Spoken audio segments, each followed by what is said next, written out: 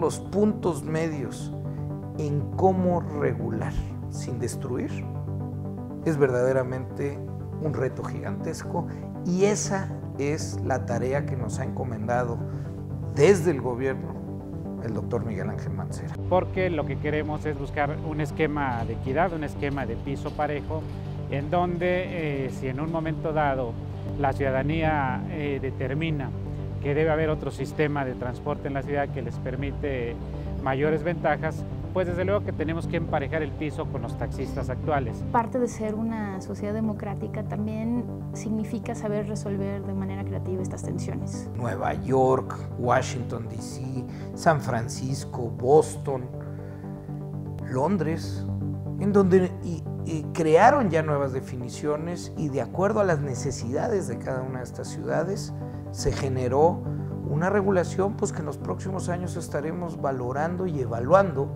el efecto y la efectividad al final en favor de la economía. El gobierno para regular esto se basa en dos aspectos fundamentales.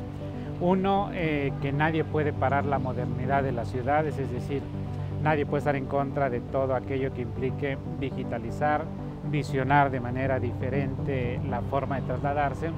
Y un segundo aspecto es que también el gobierno de la ciudad debe privilegiar sobre todo el interés de las mayorías, es decir, el interés de los usuarios, el interés de las personas que desean movilizarse, por encima eh, de intereses a veces sectoriales, a veces gremiales, a veces de ciertos grupos eh, que tienen intereses legítimos en la ciudad. Creo que es nuestra responsabilidad generar condiciones para quienes hoy ofrecen servicio de taxi lo puedan hacer de mejor forma, aprovechando las plataformas tecnológicas que hoy pudieran tener a su alcance y al final de cuentas haciéndolos más competitivos.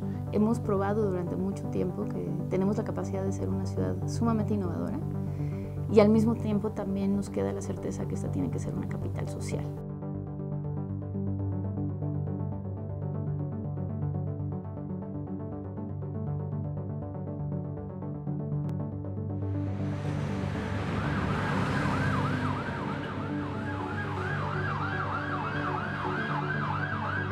Para mí es importante tener diversas opciones de movilidad, simplemente porque vivimos en una ciudad enorme con muchísimos conflictos viales. Eso hace que todo el sistema sea más competitivo. Siempre es mejor pues tener un plan B.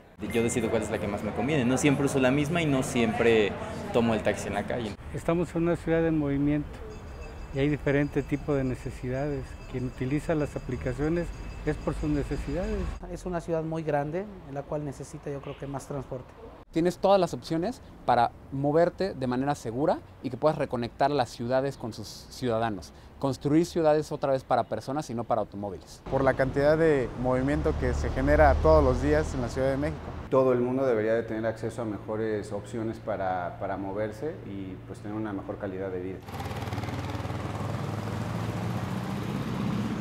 Servicio es importante para, tanto para la ciudad como para mí porque es una fuente de empleo. Honradez, comodidad y agilidad. Desplazarse rápido, en cuestión del taxi, ¿no? El usuario no tiene que hacer gastos de estacionamiento, de gasolina, de mantenimiento de auto.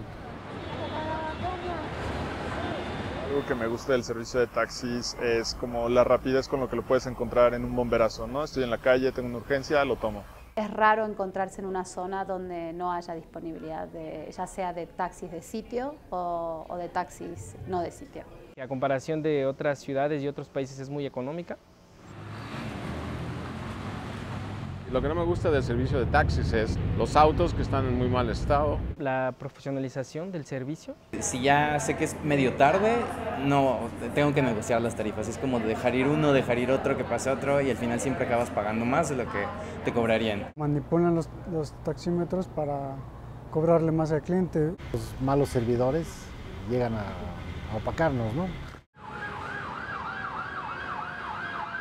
Lo que me gusta del servicio de apps es la comodidad. A veces no me tengo que estar preocupando por traer efectivo. La seguridad de la presentación. A nosotros como consumidores nos dio algo que no había y que sí estamos buscando. Yo lo estaba buscando así, durísimo.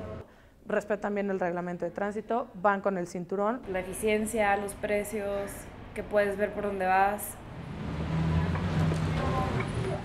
En función de, de la ubicación o de las horas pico, eh, el costo de los vehículos que uno pide a través de las aplicaciones puede cambiar. Pues lo ideal sí sería regularizar, que estén en condiciones de competencia justa. Creo que es caro.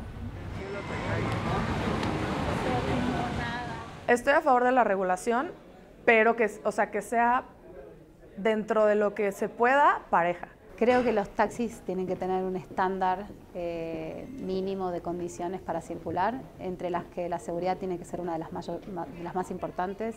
Este es un buen momento para que los taxistas se pongan las pilas. Entonces, en vez de estarse peleando con las empresas de transporte, deben de acoplarse al mercado. Los clientes cada vez somos más exigentes. Contribuir a la ciudad directamente, un impuesto a la ciudad. Es importante que cualquier actividad, no solamente el taxi, sea regulada de acuerdo a sus necesidades. Como dicen los compañeros, piso parejo para todos. Es muy trillado ya lo que nosotros hacemos, que revistas, tenencias, verificación, este, licencias tarjetón, todo eso que conlleva, más la cromática y es gasto tras gasto. Un día sin tarjetón para mí es corralón. Un día sin seguro para mí es corralón y dinero. Entonces es lo único que yo pido a las autoridades que pongan en regla todos.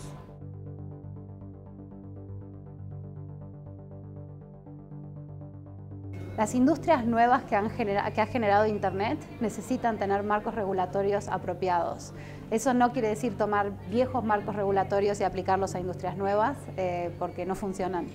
Eh, sí quiere decir pensar eh, desde Internet y con los usuarios siempre en la mira.